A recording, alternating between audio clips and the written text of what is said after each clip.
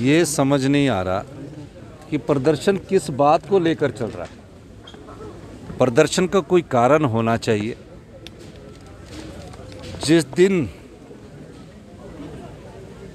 हत्या हुई है, उसके अगले 24 घंटे के भीतर जो हत्या करने वाले हत्यारे थे उनको और उनके परिवार के सभी सदस्यों को जेल की सलाखों के पीछे भेज दिया। और पाँच दिन बाद, पाँच दिन बाद भारतीय जनता पार्टी के युवा मोर्चा जाकर वहाँ आगजनी की घटनाएँ करते हैं। उनके घरों को जला जला देते हैं।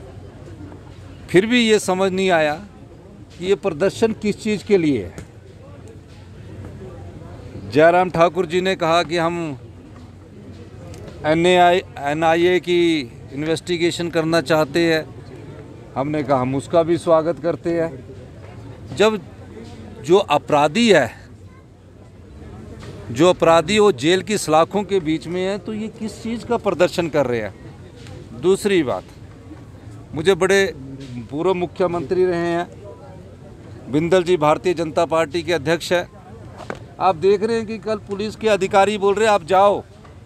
आप 100 धारा 144 लगी है, आप जानते हैं कि उसमें पाँच पाँच, दस दस आदमी करके जा सकते हैं। तो आप जाइए, रोका किसी ने नहीं है। अब धारा 144 में दो ढाई सौ का मोब नहीं जा सकते, इकट्ठे चले ये कहा? फिर भी वो नहीं गए। आज इस मुद्दे को, जिसमें अपराधी जेलों की सलाखों के पीछे, ये पहला आंदोलन मैंने हिंदुस्तान के इतिहास में पहली बार देखा, जिसमें अपराधी सलाखों के पीछे और भारतीय जनता पार्टी तब आंदोलन कर रही है। तो मेरा ये मानना है कि अगर आपको अपनी राजनीतिक रोटियाँ सेकनी ही हैं और अपनी राजनीति को करना ही है तो आप किसी और मुद्दे पर आंदोलन कीजिए। अगर अपराधी नहीं पकड़ा जाता तो भी भारतीय जनता पार्टी का आंदोलन हम मान लेते सही है। उनके तो परिवार की बेटियों को भी हमने अरेस्ट करके रखा है। सारा परिवार छोटा, वो सबको हमने अरेस्ट करके रखा है।